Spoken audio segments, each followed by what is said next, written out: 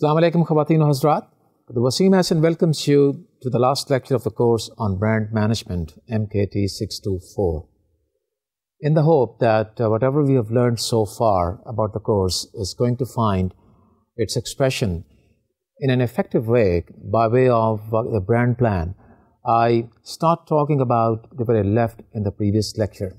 You will recall I was talking about the brand analysis the part of the, the planning process when the time ran out.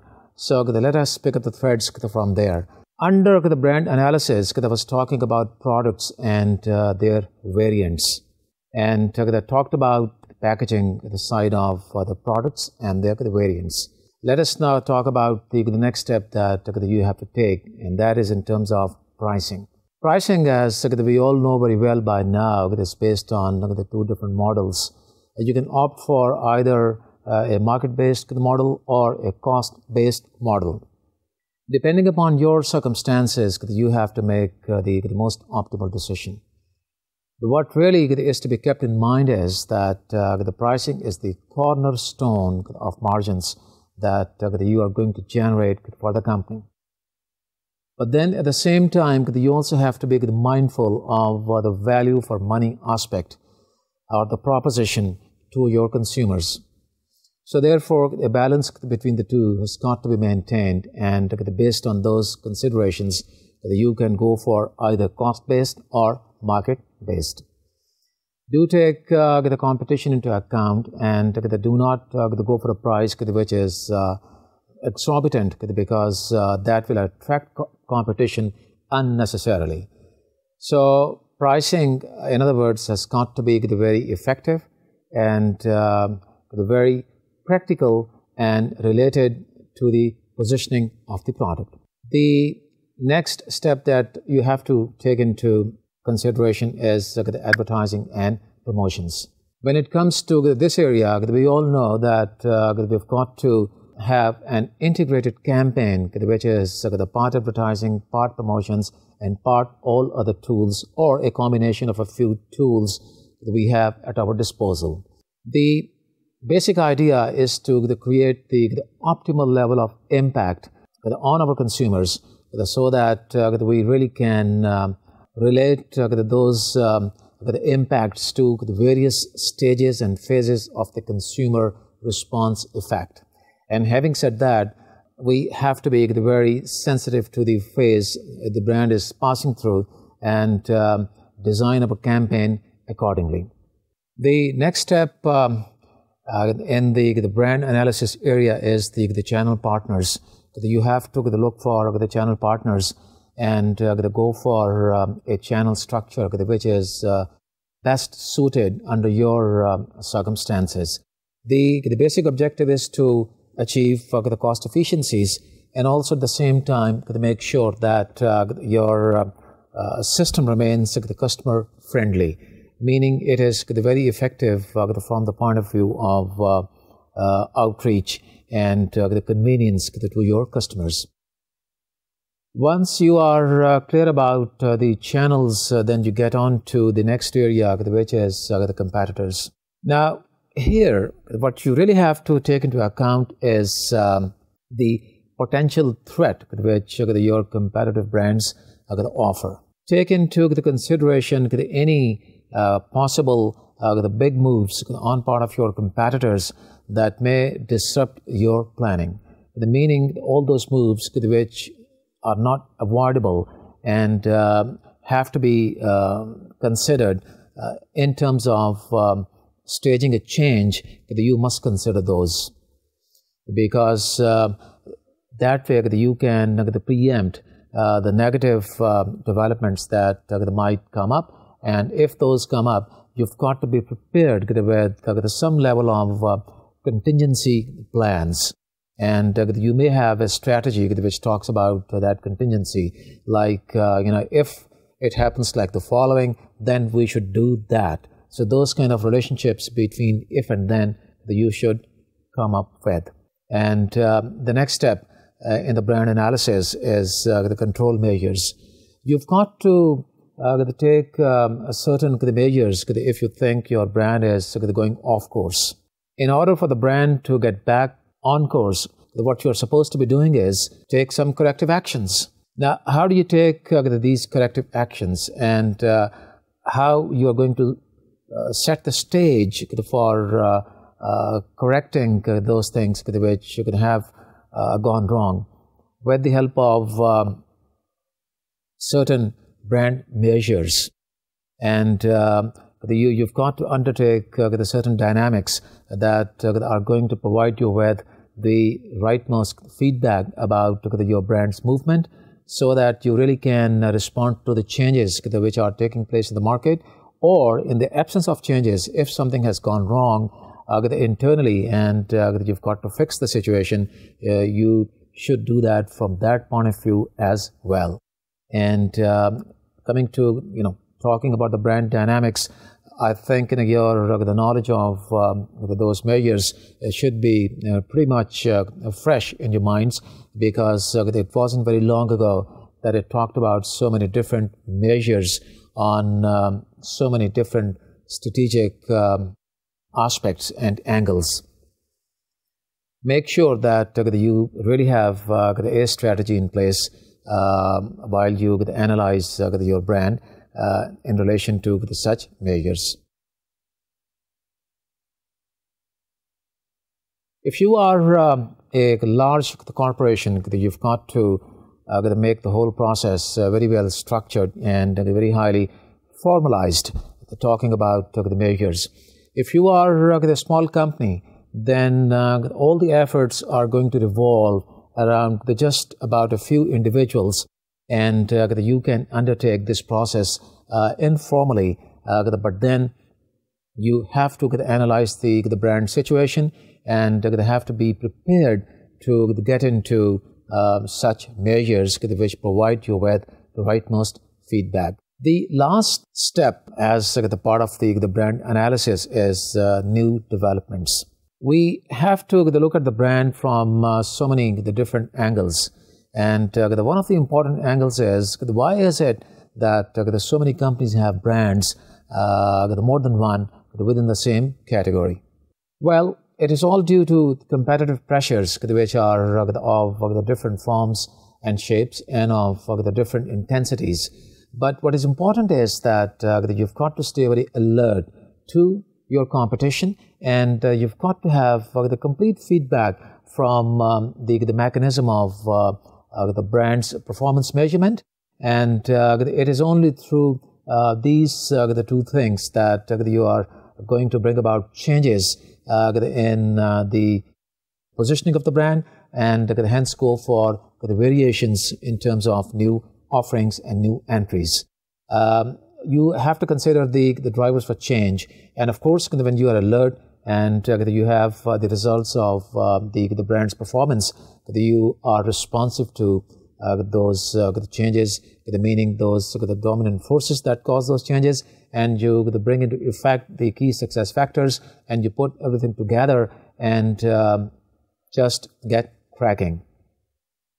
The, the challenge at this juncture is uh, that you do not introduce those variations which uh, cannibalize your existing ones, meaning which do not really eat into the volumes that you already have.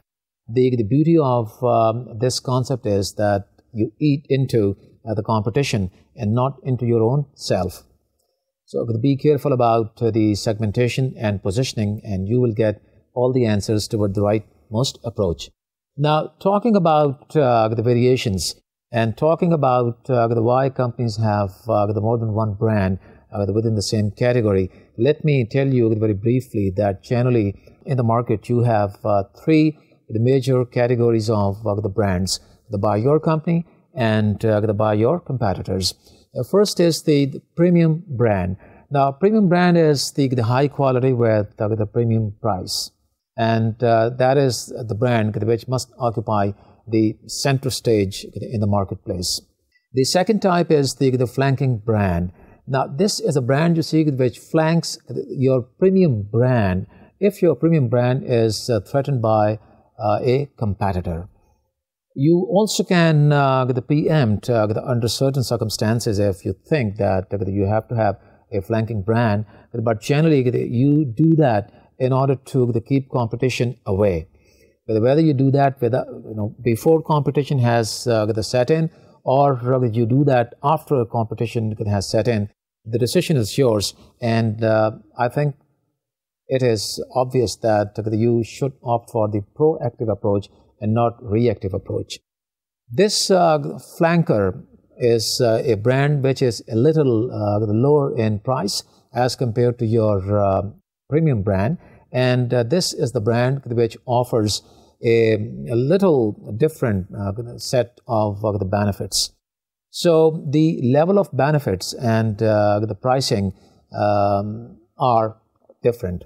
If you refer to the illustration which I drew your attention toward in relation to the sandwiches, you will know um, what I'm talking about. And um, that is how you are really going to make um, realistic uh, decisions about uh, what the brand uh, should be a flanking brand. The third the category is the fighting brands. Now, fighting brand is basically a fighter which fights competition, and it fights competition head on. When you plan to introduce that kind of a brand, of course, the, the pricing point is uh, on a much lower side, and the benefits that you offer um, have got to be very basic in nature, because the idea is just to fight competition um, at a ground which is away from the premium brand. The objective, again, I would say, is to uh, safeguard your position for the premium brand because that brand is the one which must occupy the center stage and it has to be in the center of the defined market, meaning your target market. You should be very careful right from the outset about the, the market situation and uh, define your brand accordingly, meaning that you should not be in a hurry just to create a, a flanking brand or just to create a fighting brand because uh, you're not supposed to be stirring you know competition um, out of its slumber. You know, if uh, the competition is not really bothering you and uh, things are uh, pretty peaceful in the, in the marketplace, you do not really have to create a situation where competitors start responding to you with uh, full ferocity. Uh, that is uh, not really prudent. The whole planning process will revolve around definition of the market and the brand because that will define the essence, identity, values and position of the brand accordingly. So this is uh, all about the, the second uh, phase of uh, the planning process, which is uh, in itself known as uh, the planning process.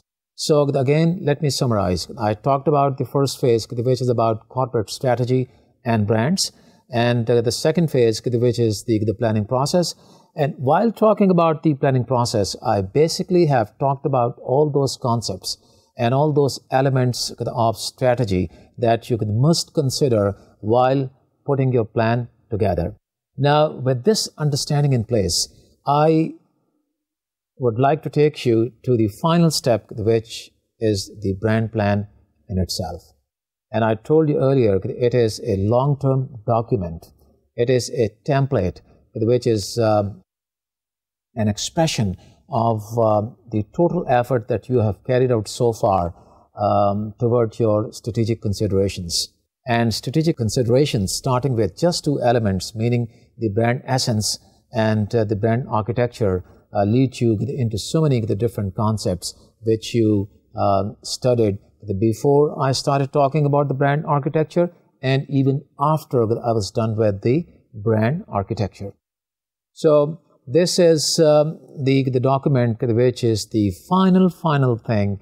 And this is something about which uh, you can say at the start, okay, fine, I have the complete understanding of um, the strategic elements and uh, I know what are the considerations I have to um, undertake before proceeding with uh, my plan. Now I'm going to get down to the um, structured uh, the planning uh, form of the, uh, the whole thinking. And I have to come up with a document which is going to serve the basis of um, all the execution which will take place not only on part of the uh, company members, uh, meaning people within marketing and uh, your colleagues all over, but also the ad agencies and uh, the research agencies and any other companies involved into the promotional activities. So this document, in a very summarized way, records in a very structured manner your whole planning process. And this is uh, where I would uh, tell you things that you must take into account in the order I'm going to talk about, uh, preferably. But the choice is yours. Since uh, the brand plan is uh, your uh, strategic framework, you must understand, first of all, what a strategy is and what is the difference between a strategy and tactics. Now, this is not to uh, assume on my, on my part that uh, after having talked so much about strategies, that you do not understand what a strategy is. No, this only is to bring home the point that brand plan is going to be a set of so many different strategies expressed in very uh, few sentences and uh, expressed in um, a form which is uh, very concise and yet very comprehensive. By going through the one strategy of two to three sentences, a reader must know what you are arriving at, and a reader must know what could have been the background of this strategy. So, with that objective in mind, let me tell you that strategy is a long term document that sets a course of action for the foreseeable future. That is just about it. It is a game plan that defines the means to achieve the real objective. Very simple. And tactics is execution. It is all about how you achieve your sales results uh, this year or carry out your campaign this year and the year after. So, the reason I really want you to uh, make a distinction between a strategy and tactics is that you have got to be very uh, concise and very to the point when you put down um, strategies as part of your strategic framework. Because after you're done with the brand plan, let me tell you, the next step, which uh, is going to be very important on your part, and uh, which I leave to your education and training and the comprehension so far, is going to be all the details of the budgets. And uh, in other words, if you're talking about an uh, uh, advertising strategy, you have to have the, the, executional side of it, and you mention all the like the media elements that you are going to take into account uh, in relation to the number of insertions and uh, the costs and so on and so forth. So that is something which uh, that doesn't really call for any further teaching on my part when it comes to your um, imagination and your expertise on that. Okay. Now, having understood the difference between the two, meaning the strategy and the tactics, let me also explain this distinction with the help of one example. I always like to make sure that you should have examples because, like they say, the one example is better than 100 reasons and explanations. Um, this is like an advertising campaign uh, getting to a point where your uh, consumers are getting bored. And uh, I think I they did talk about this example before also. Strategies never bore your consumers. It is the tactics. So if you think that uh, there's got to be a little change in whatever you are communicating, without having to change the essence of that communication, what you should do is uh, bring about a tactical change uh, while remaining um, within the uh, same strategic framework. So that I think should explain the, the distinction between the two. And um, what I'm saying is tactics will change, but strategy still will remain the same. Until the point that uh, you really have to bring about a strategic change, something really has taken place in the market which uh, has created, you know, a drastic change. You may have to change the strategy, and when you, when you change the strategy, you start the process all over again uh, there's not going to be much difference. I mean, there's not going to be any difference when it comes to uh, all that we have been discussing for the past two lectures and um, also in this lecture. Written strategy. Every business large or small, consumer or industrial, should have a written strategy. That goes without saying. Because a written strategy that brings the whole marketing program into a very sharp focus. If you were to define your business and then come up with a strategy for that business, and you know what a strategy is all about, means to achieve your objectives, and you have to talk in two to three sentences, well, I tell you, it is not going to be easy. And this is not to say that you cannot do it. No. An average student or average person can do it. But uh, the objective is when you do that, you have to look into the consistencies. When you start writing the statement of that strategy, you will see how many inconsistencies uh, that would have existed if the strategy was not expressed in a very well structured form. Make no mistake that the whole strategy is concerned about your brand, and therefore it cannot have parts which do not really fit into each other. They must fit like all the cogs fit, into a wheel. That is very important. It has to be a body which uh, has all the organic parts. Even one small, minute foreign part is going to dis disturb the body and it will not remain organic. After you have uh, talked about the strategy and you have written the strategy in the form of a statement, which must not be more than two to three sentences, you, as a second step, start writing down your objectives. So, in other words, as part of the brand plan, in a structured way, you have written your strategy as statement of strategy as the starting point of the document and the second point of the document is objectives.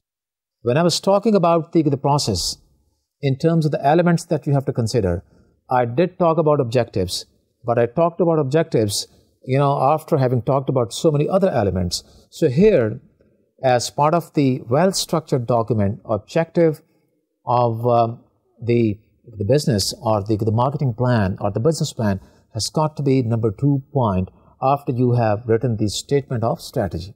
You talk about the numbers and the sales figures, the revenues, the, the market share, the rate of growth, and uh, also the margins. I mean, there's no harm talking about the, the financial the side of it.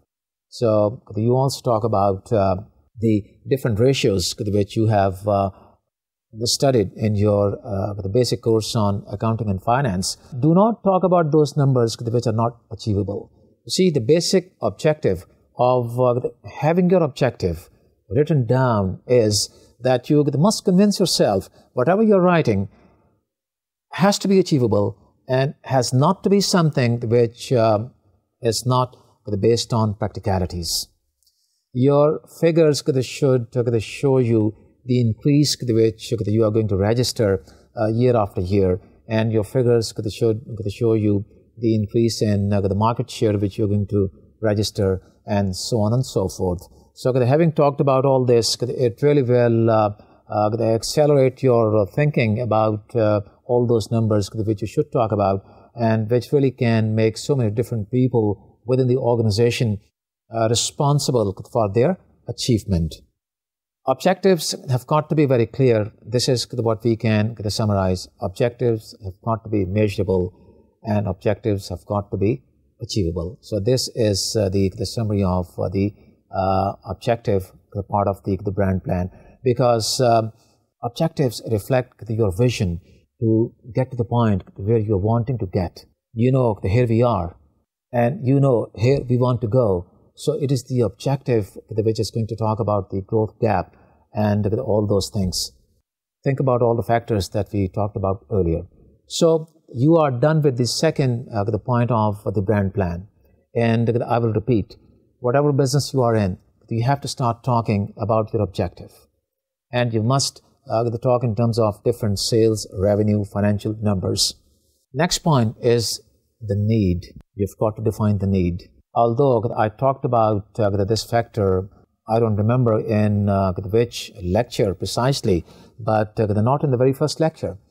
But here, as the part of the brand plan, you have to talk about the need after you have put together your objectives. you must talk about your product and brand in terms of its absolute uh, necessity. And uh, you have to think about the question which the, the top management asked themselves. Uh, what is it that the market you know, will do if the brand did not exist? Well, if you have answered the question very convincingly, you certainly will you know, think to yourself, well, here is the need. It is um, very convincing and it is going to be fulfilled by introducing this brand. So you talk about the need and uh, you talk about that in terms of, again, in terms of a strategy. And that strategy has to be expressed through a very concise statement uh, comprising of not more than two to three sentences.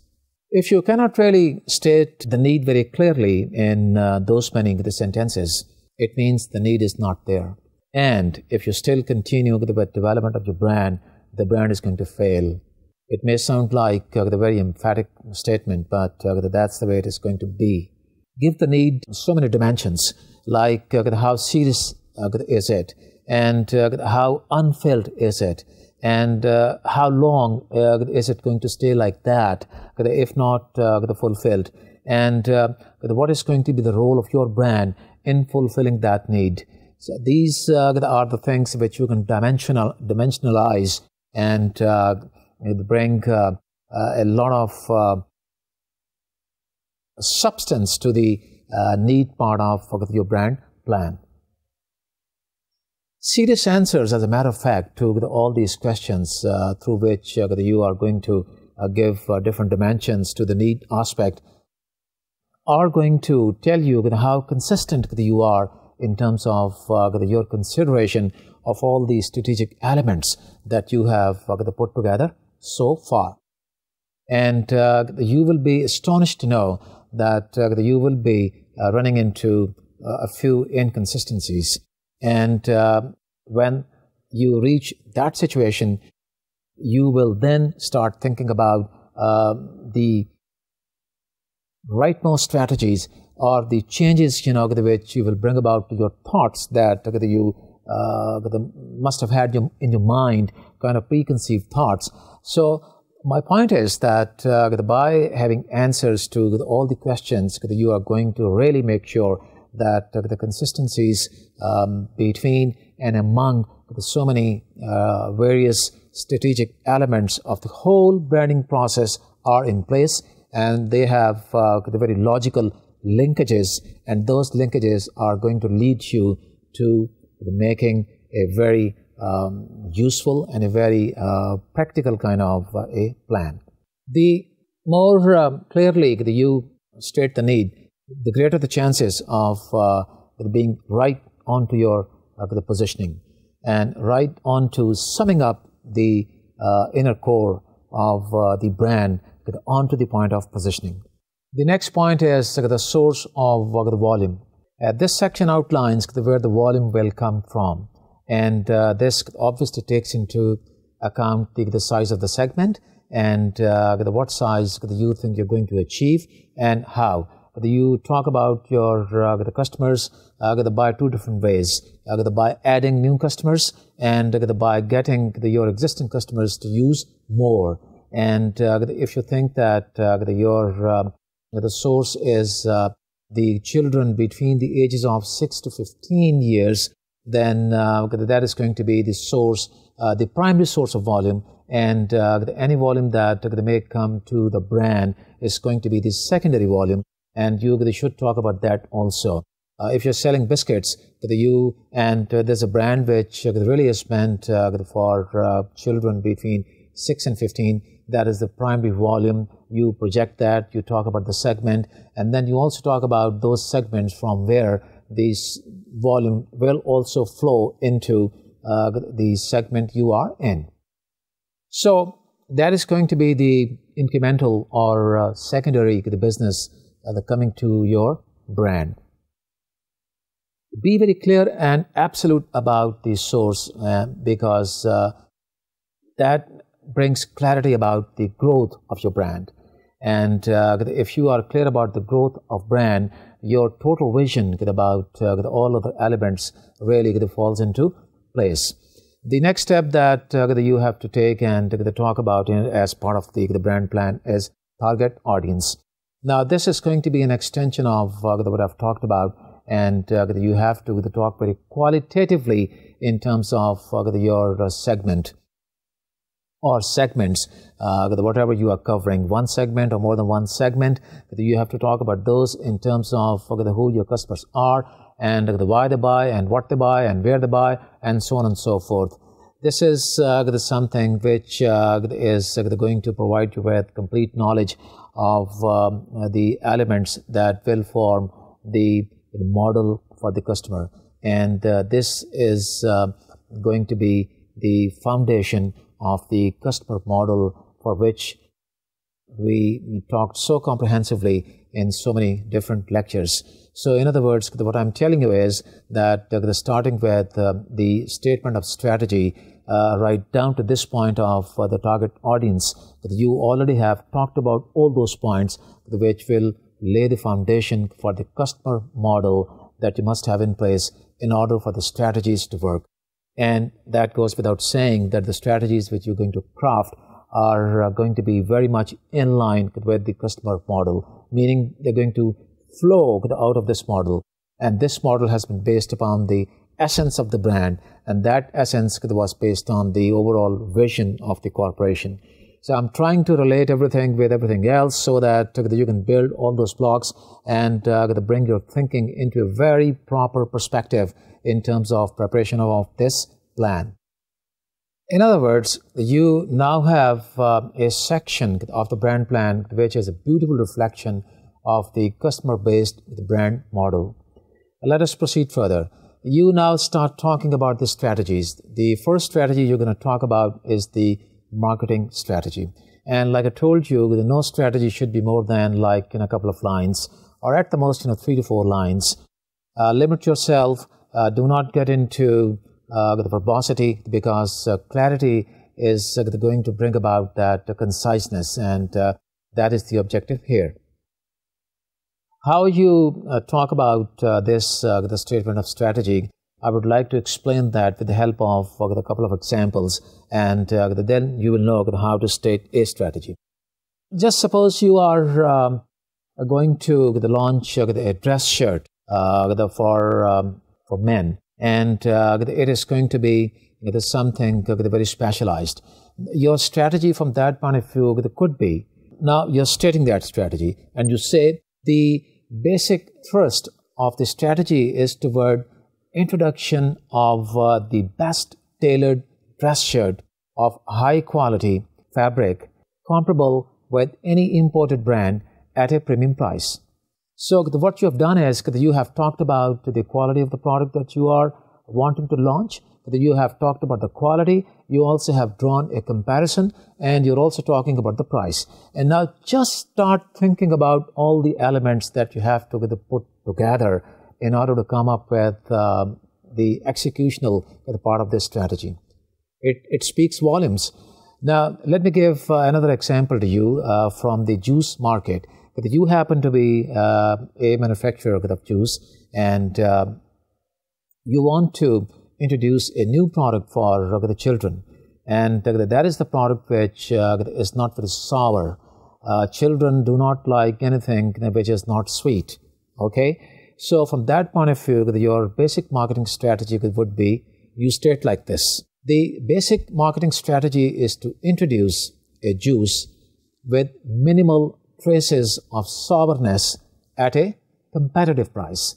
Here again, what you're doing is you're talking about your strategy of uh, bringing about a certain product. You're talking about the product character, um, its characteristics automatically, you know, come to mind, and uh, you talk about the price also. And uh, again, you see this is an example of a strategy that uh, should lead you uh, toward um, so many different strategic avenues as to what is to be done here and what is to be done there. I will leave it to your imagination. I can come up with a few more examples, but uh, for the shortage of time, let us move on. These are the statements of strategy which uh, you have, or which you, which you must uh, keep in mind. And you must come up with your strategies wherever you are and whatever product you are dealing with. by keeping in mind the success factors also and the linkages among uh, all the elements uh, that are going to provide you with all the consistencies. So, in other words, if you're talking of a competitive price, naturally you are talking about the packaging, which has to be very practical, but and which should not be very very expensive.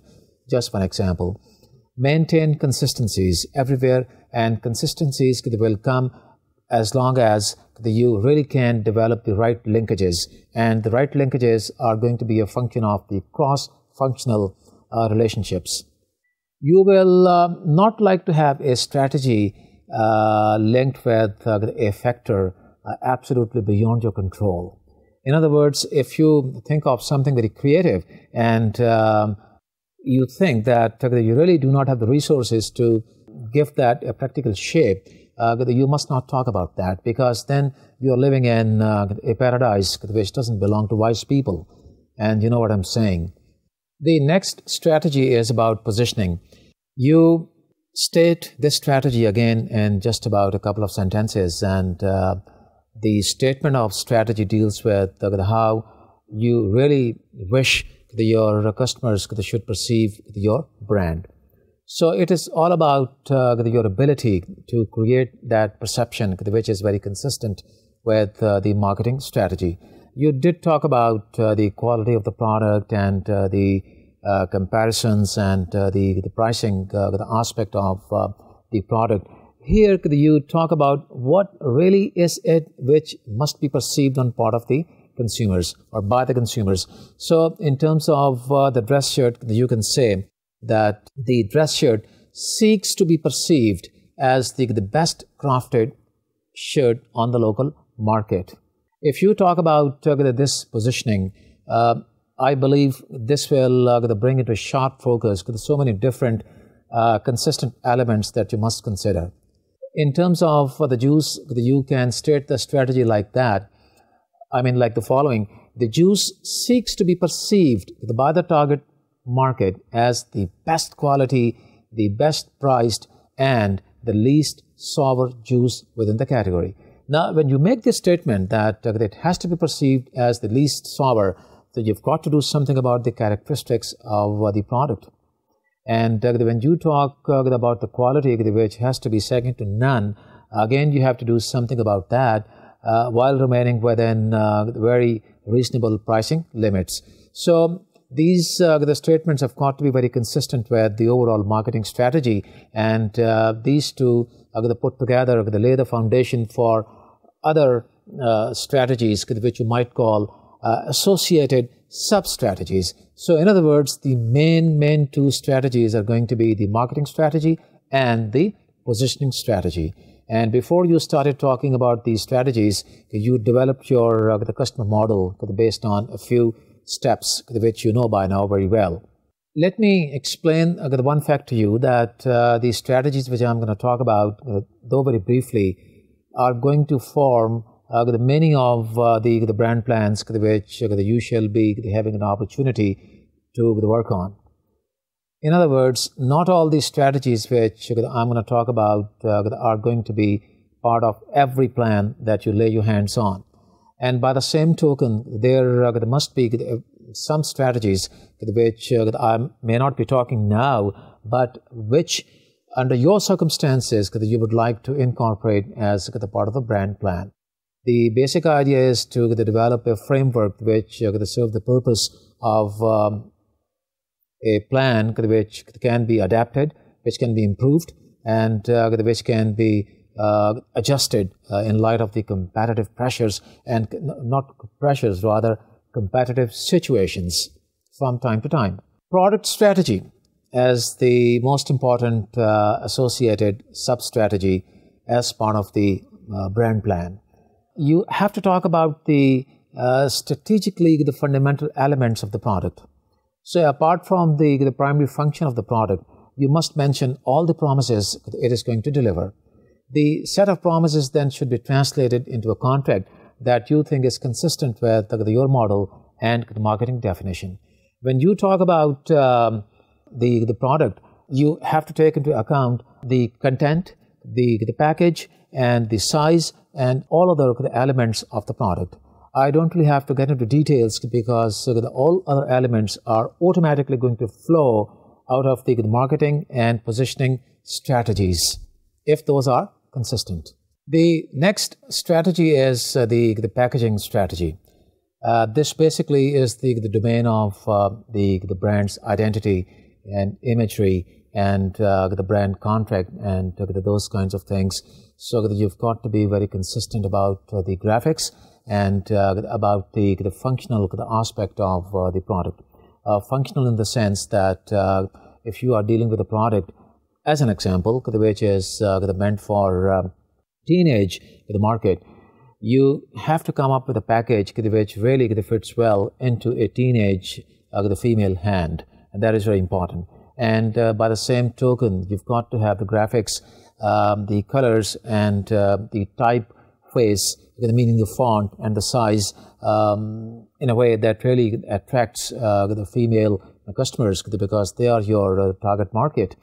Any inconsistencies uh, here are going to cause damage to the brand. The totality of um, graphics and uh, all the packaging elements they have to create uh, an impression in the mind of uh, uh, the customers. That is the objective here. When you pay attention to uh, these um, the factors, you will um, find out many inconsistencies. I repeat, inconsistencies in many brands and why those inconsistencies exist, I leave it to your imagination. Uh, after having had this understanding, I think whenever you look at a brand, you're going to look very analytically. And uh, when you do that, you might find certain inconsistencies in so many different brands. And uh, you will also find consistencies among so many brands. And uh, then you will find out why those brands are so powerful and so valuable. The next strategy is uh, the, the pricing strategy, uh, which is uh, all about costs, competition, and uh, the overall market. Not to forget that you also have to create an image, and you must go for a price which is just about the right price based on the model which you have chosen. State this um, strategy also in a few words, and then develop consistencies with the positioning and the overall marketing strategy. The next strategy is um, the distribution strategy. You have to decide uh, about um, the points of uh, availability for your product. Where is it that your product must sell? And in light of that, then you make uh, the decision about uh, your uh, channels and they mention that also within um, a space of like you know two to three or at the most the four sentences uh, talk about the cost effectiveness and talk about the, the outreach and the efficiency and so on and so forth and i'm sure you really can do that within a few sentences because when it comes to execution you are going to get into all the details and uh, the details to the level of uh, defining um, even uh, your the margins you know which you are going to offer to the various members of the channel. So that, that uh, going to be um, a, a, part which will be a reflection of not only your pricing strategy but also distribution strategy. Anyway, I was um, diverging for a moment uh, from the, the, main strategic uh, thought. Once you have uh, all these strategies in place, you get on to the next set of strategies which are all about communication. Naming strategy. State what name should connote what. Now, this is a strategy uh, which you must talk about uh, in terms of the meaning of the name.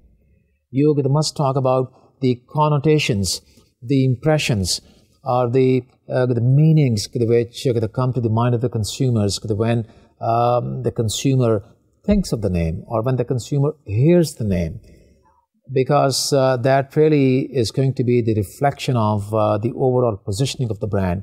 And that is why I said that I will tend to subscribe to the view that name of the brand should be uh, position centric and uh, it should not be very vague and very general although there are so many names in the market which are very general and which are very powerful, but that is not to say that we must follow that practice. The next strategy is the, the copy strategy. This is a strategy which really relates uh, directly uh, with uh, the brand managers and therefore very important for you guys. You talk about uh, this strategy in uh, a little more detail in comparison with the other strategies. The statement has to be concise, but nevertheless, it takes care of the four different points. Number one is that you must talk about the promise the product carries. in other words, the benefit or the benefits the product carries. number two, you must talk about um, uh, the support which makes the, the promise uh, deliverable. And uh, number three, you must talk about the, the emotional benefit or the emotional relationship which the product uh, develops with uh, your customers. The meaning, if uh, your product makes your customers feel very important, you've got to take that into account as the part of the copy strategy. and number four point is, which is the last point, um, you must uh, talk about the tone of uh, the advertising or the character which uh, you really want built of your brand. So these are the points that you have to consider while talking about the copy strategy. And let us now get on to the next strategy, which is the media strategy. This basically states how you're going to reach your customers with the message. So the statement of strategy is going to the center on uh, the message and uh, the importance of the combination of uh, the various uh, the tools you have at your disposal, the meaning the media. Be very careful about the diversity and uh, the fragmentation of uh, today's media, especially in terms of the television channels. Also, to talk about promotions, the strategy in terms of trade promotions and the consumer promotions. Uh, do not lose sight of uh, the objectives that you have uh, set yourselves. The meaning, uh, trial, the repeat purchase, uh, the whether regional promotions or the national promotions, the need for the stocking and on part of retailers, all these things have got to be taken into account. The next one which you should talk about is the, the merchandising strategy uh, which uh, must state the kind of uh, shelf space or display which you must achieve in relation to your brand. Uh, with this, uh, our um, communication uh, strategies uh, come to an end, and we have completed yet another part of the, brand plan. The final part deals with a few um, very important strategies and, and, the first one is the, the management strategy. What kind of management and um, organization, in other words, you must have in order to support the brand. And I think the importance of that uh, was talked about in detail under uh, brand based culture and organization. All you need to do is come up with a statement which sums up the whole thing uh, within a few sentences so that that does uh, that gives you a lead into what you're supposed to be looking into from that point of view. Another strategy that, uh, that you have to look into is the uh, resource strategy uh, from the point of view of uh, the advertising research and uh, the marketing research and the other research models that you may undertake from time to time. In particular, the brand performance. Do not forget that you must talk about that as uh, one of the strategies and uh, the feedback uh, which you get from um, that strategy, meaning by executing that strategy is going to form the basis of your future improvements and so on and so forth. What is important about all these strategies is what I can tell you as a conclusion of this lecture and of the whole course is that uh, you may have a different set of strategies, but the ones I've talked about are the ones which uh, will uh, be included in most of the, the brand plans. You may keep all of them, and you may not keep all of them. You may add a few more, or you may not add any more. The decision is yours, but what is important is that decision has to be taken on the basis of the consistencies of your objectives with the strategies. If you think a strategy has got to be added to the framework, you must add that. A few things that remain common under any sets of circumstances are that you have to have a long-term objective and you have to specify a target for the long term and you have to have means for achieving the objectives and strategies. That is the lesson of the whole course that I've talked about over 45 lectures. In the hope that whatever I've talked about makes sense to you people and the brand plan, which is the final, final expression of the total effort that we all have undertaken is going to be useful. I wish you the best of luck in all the future endeavors that you may undertake. Thank you very much and Allah Hafiz.